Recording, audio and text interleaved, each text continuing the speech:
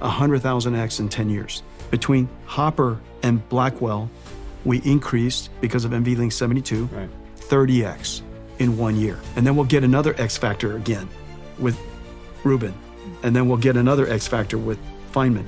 And the way we, we do that is because the transistors aren't really helping us very much, right? Moore's law is largely the density is growing up, but going up, but the performance is not. And so, if that's the case, one of the challenges that we have to do is we have to break the entire problem down at the system level and change every chip at the same time and all the software stack and all the systems all at the same time.